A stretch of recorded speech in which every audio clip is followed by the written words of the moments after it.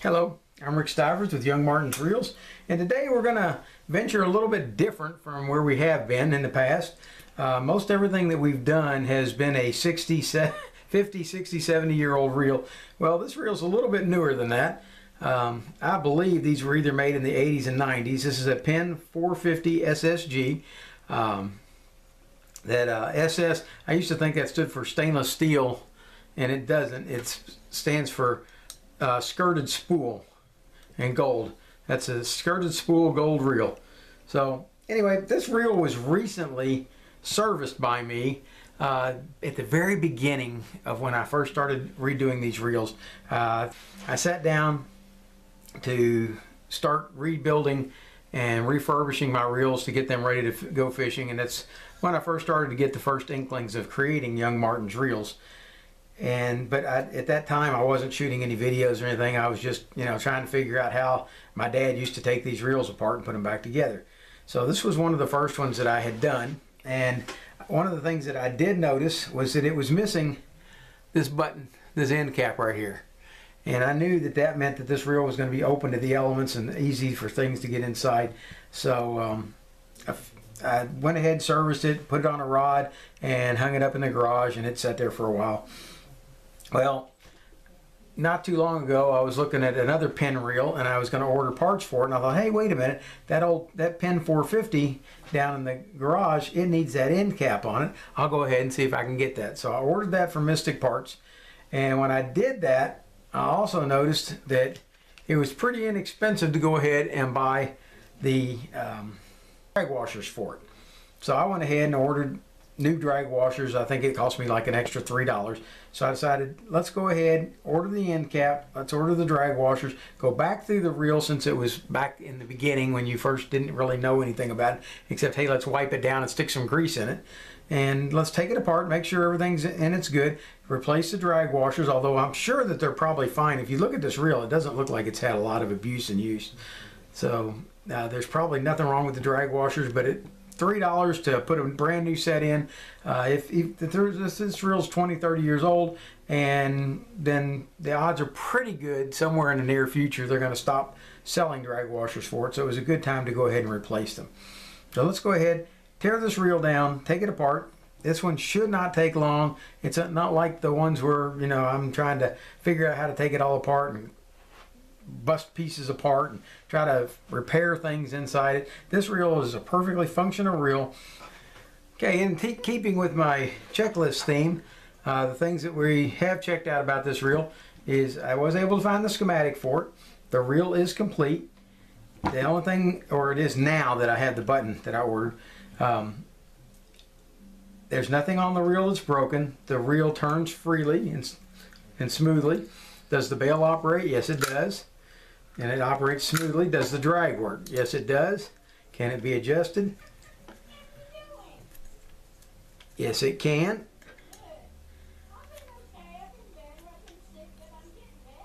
There you go. And uh, does the handle function smoothly? Yes, it does. Does the anti-reverse work? Yes, it does. It's the uh, instant anti-reverse and it cannot be turned off. There is no on-off switch for it. We'll run that again at the end to make sure everything still functions like it should. And let's get started taking this thing apart. We're to start off taking off the spool. There we go. And we'll come back later, take that apart and replace the drag washers. We're to go ahead now and remove the handle. And we're going to remove these four screws.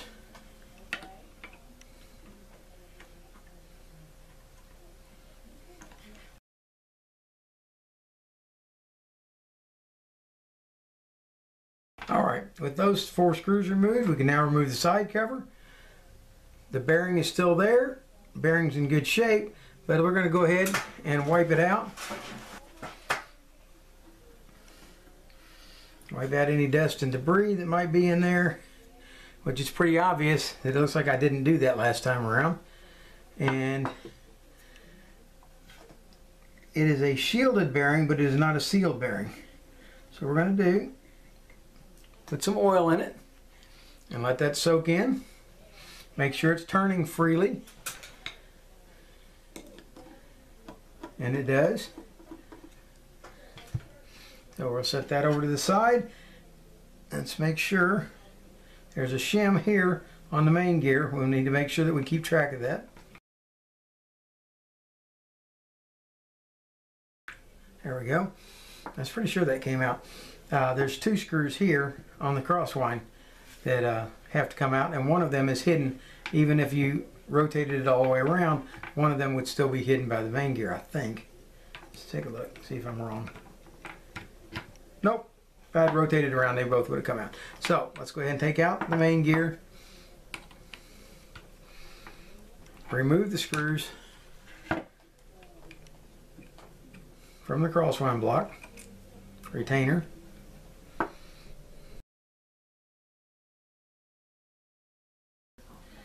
All right, with that out, the axle shaft assembly will now come out.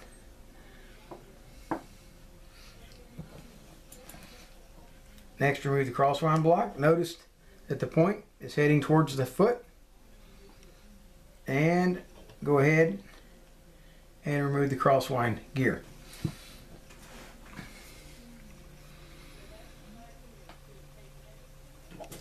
Next, we'll go ahead and remove this screw holding the lock for the nut and that should come out there we go there's the lockout and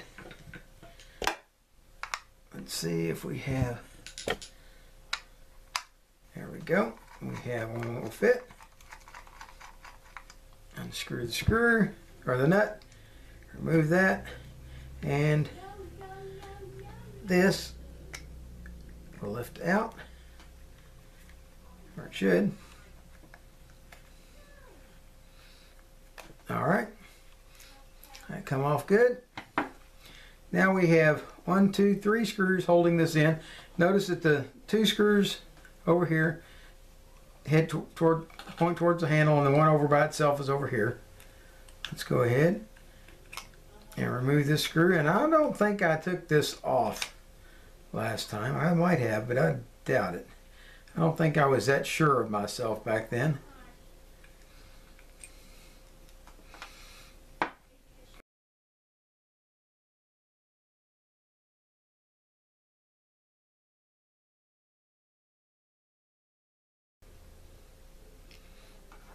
Okay, all three screws are the same. So we can leave those. All right, now we take this cover off. This is your anti-reverse. With that off, they should now rotate both directions. With it installed, it should only rotate in one direction, which is true. That's exactly what's happening. Okay, now this is greased and it should not be greased. That should be dry. So we'll be working on taking that and cleaning it up. And there's the last bit out. And we'll clean this up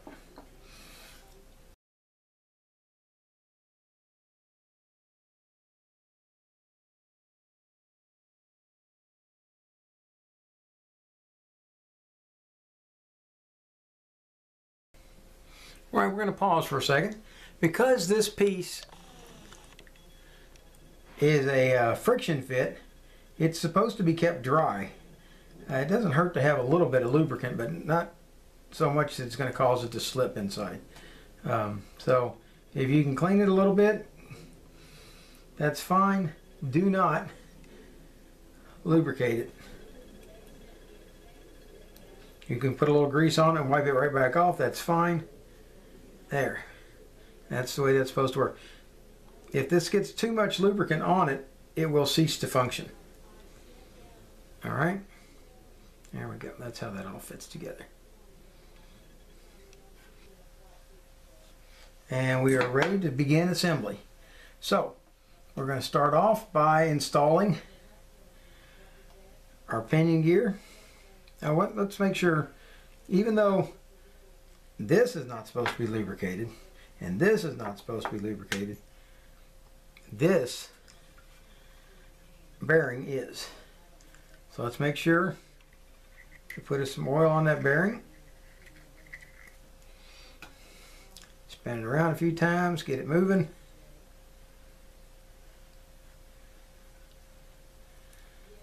Alright, there's a right way and a wrong way for this to go on.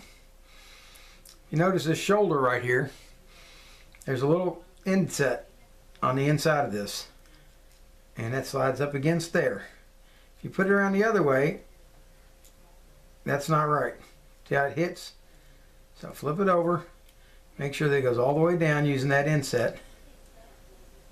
There we go. There's the inset. Slide it straight down. There we go. Then, let's go ahead and put it in the case.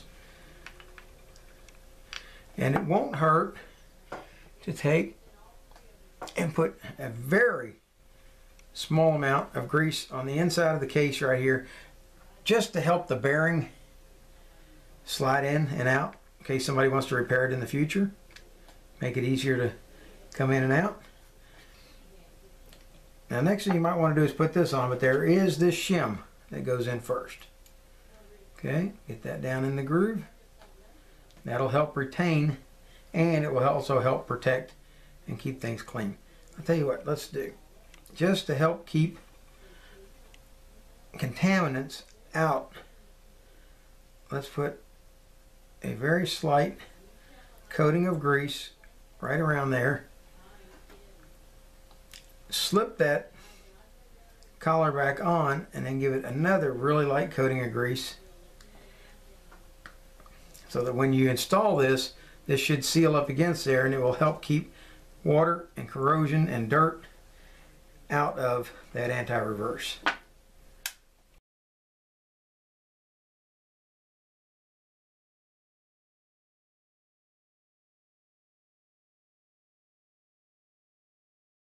Now that should only turn in one direction, and it does. Okay. All right. Once you've done that, let's go ahead and clean out this bearing. Make sure it's clean.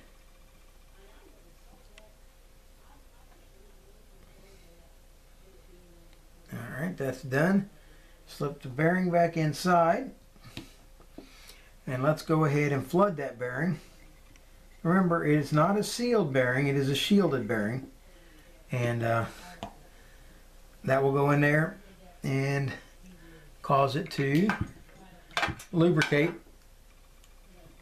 the roller bearings inside. That will help keep it smooth. Next, we're going to put on the crosswind gear. Put some lubricant in the bottom down below it. Slip it into place. You can go ahead if you want at this point and put some grease on the teeth themselves. And I've inspected these, they're in great shape. This reel looks like it's practically brand new inside. And it may be. For all I know, it may have never been fished with. It has been dropped once. It's got a, a ding up here on the bail, but aside from that, I couldn't find any damage to it whatsoever. crosswind blocks installed. Let's come back now and put our rotor back on. And it's got these flat spots right here on, on the shaft. Find the flat spots on there and slide it on. Take your nut and reinstall it.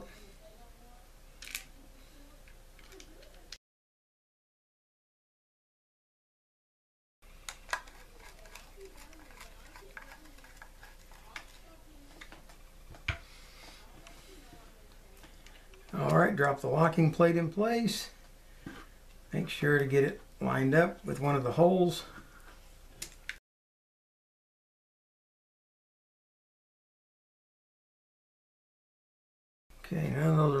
To the hole, so that means I probably over torqued it a little bit. There we go. Line up the hole. Put your screw back in.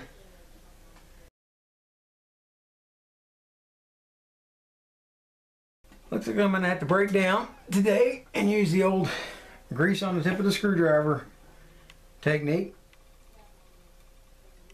And it does work 100% every time. It's just a little bit messy. The excess out of there. Don't need grease down inside that. With that done, we're ready to reinstall the axle shaft. Now, I always oil these um, and the only reason I do that is because I find that grease seems to slow the reel down and uh, I just don't like my reel to feel sluggish. Um, that doesn't mean greasing it is wrong. Lots of people do, especially my mentor um, in these, which is uh, Dennis Kuntz over at Second Chance Tackle. So if you have the desire to grease it, you feel more than happy to do so. I just feel that it slows it down a little bit, so I don't do that. Uh, it, in the long run, I may decide one day I may come back and re-edit every single video I have because I find that I'm not doing well by doing that. So, but for now, I do.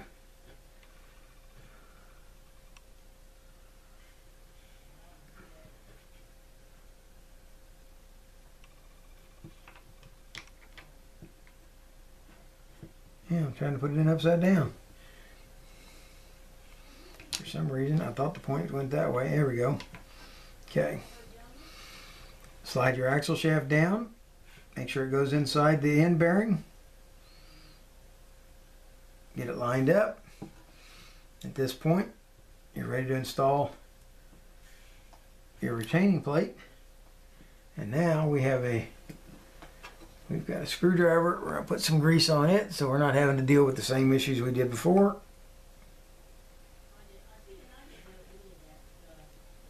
Set your screw in place and tighten it down.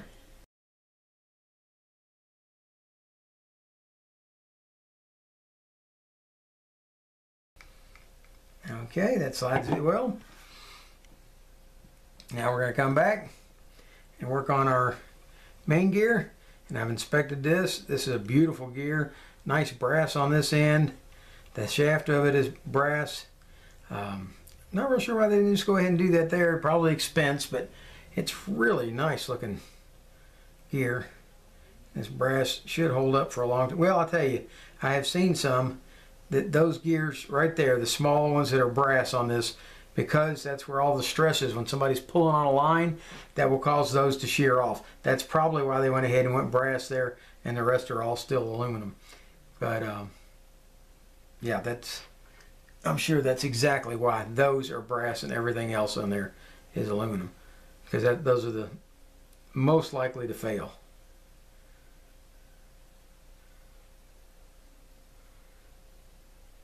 If you uh, look at my video on the Browning reel, you'll see that it failed right there, and that's exactly why I was determined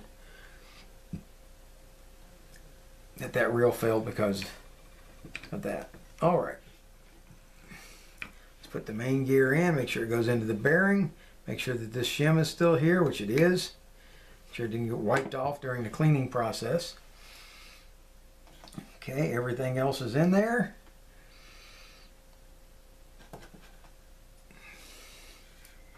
because this is going to ride on here a little bit. We're going to go ahead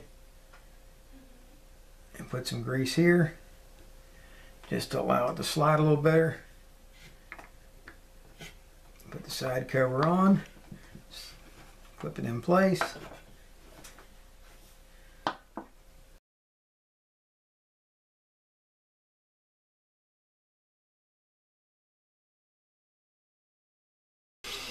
Go ahead and put the handle back on. Hold the rotor to tighten it down. Very nice. Okay. Put the end cap on. This is the first time. This one's had an end cap in a long time. I don't know where it went to, but it's got it now. All right, that brings us down to doing the spool and putting in the new drag washers. And like I said, it probably doesn't need these drag washers, but at $3, it was an easy buy. went ahead and got it done. Decided let's get let's do it all. We're going to take out this spring clip. Keep your finger on it so it can't shoot out.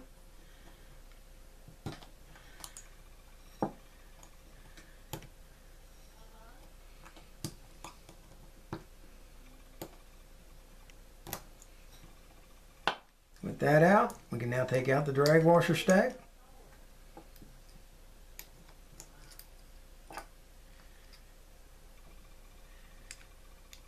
And they look like they've actually had a little bit of use, but not too bad. I mean, they're still very solid.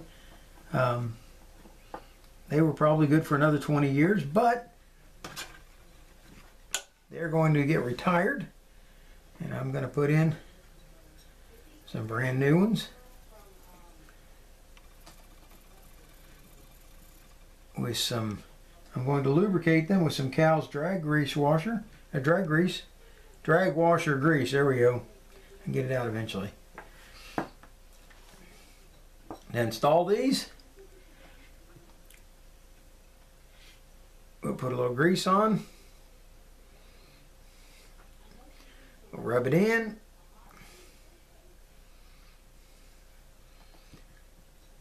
Put the drag washer inside. Now, we've got a round washer with a key on the inside. It's kind of oblong shaped. We're going to put that in next. Then another new drag washer.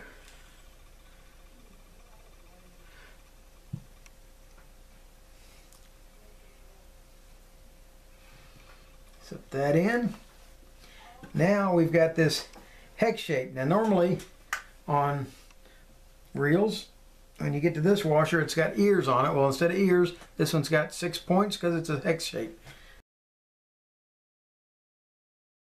Okay, slip it into the hex shape. And we've got one more drag washer to install. Rub the grease into it. Slip it in. Put this last keyed washer in.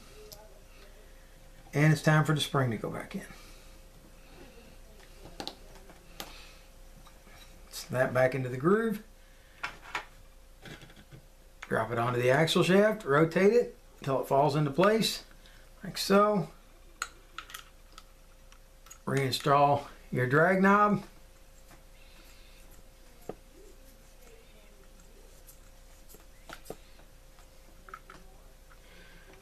Tighten it down until you can't tighten the knob anymore. And loosen it up. There you go. Nice drag. All right. So there you have, uh, there's our, I'll hang on to those. Those are in good shape. I might find something else that those can fit into, but for now, those went in here. We're going to, let's clean this line just a little bit.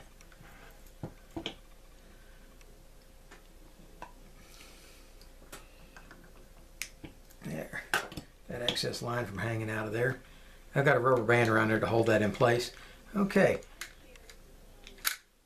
let's put a drop of oil here, here, here, here, and here. Now, we can operate this bail back and forth a few times. Work that lubricant in.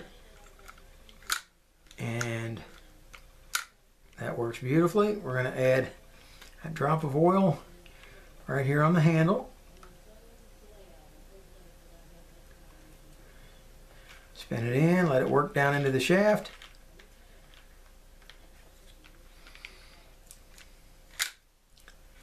That completes the servicing for the Penn 450 SSG. And um, if you like what you saw here today, please hit the like button. If you didn't like it, go ahead, hit by all means, hit the dislike button. And um, if you'd like to see further videos like this, hit the subscribe button. Let's do a quick run on the checklist.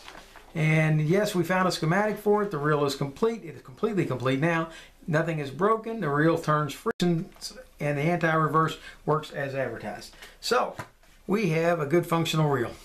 And uh, Good fishing to you. And from Rick Stivers at Young Martin's Reels, fish on.